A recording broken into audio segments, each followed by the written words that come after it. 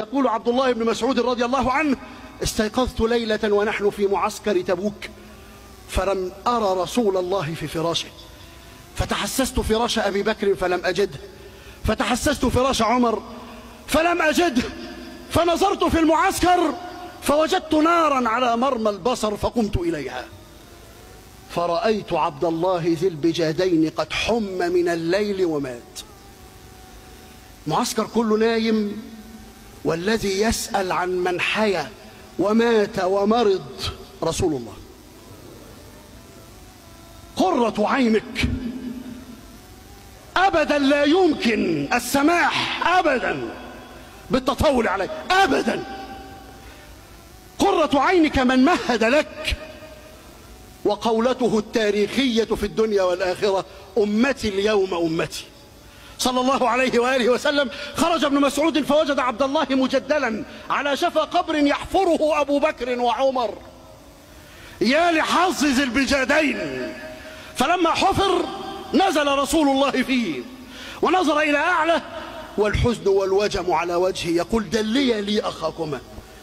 دلي لي أخاكما. قانون الأخوة. دلي لي أخاكما. فحمله أبو بكر وعمر شيخ أهل الجنة.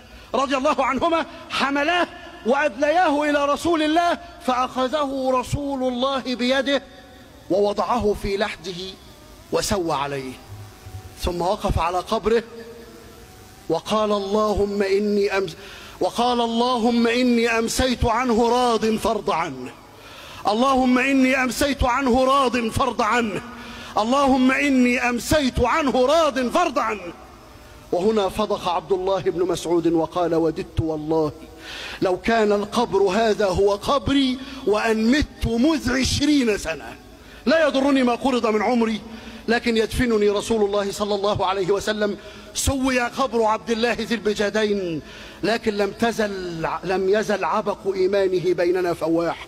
أيها الإخوة سيرة الأكابر لا تفرطوا في هذا الجيل. إيمان يحسب بهم طريق تعرف معالمه بهم.